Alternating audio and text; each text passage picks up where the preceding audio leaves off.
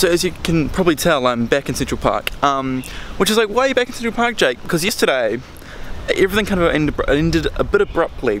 Um, I was walking through Central Park and it started raining. So I was like, shit, where do I go? What do I do? So I was planning on going to the museum later on in the day. Um, so it's lucky it kind of kind of lucky it did rain because the museum was about to close. So I only got about like an hour and a half of the museum, but it was really cool. There was lots of gems, lots of animals, lots of more animals and fish. Oh, it was good. It was good, really, really good. Um, so it's really good that I went there. Um, but yeah, I'm just heading back to Central Park because I haven't really done the whole Central Park yet, so I'm doing that now.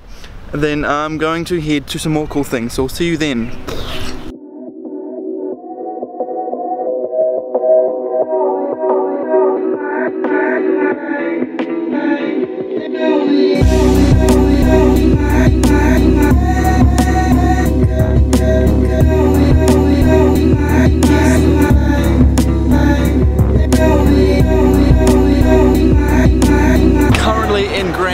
Central Station. You can tell because it's got like the famous stuff.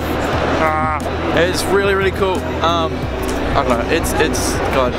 New York has like got the coolest stuff. I wish I had more time in New York, but like you know, because of certain circumstances, as you may know, I've had less time in New York, which is fine. Um, but yeah, it is crazy in here.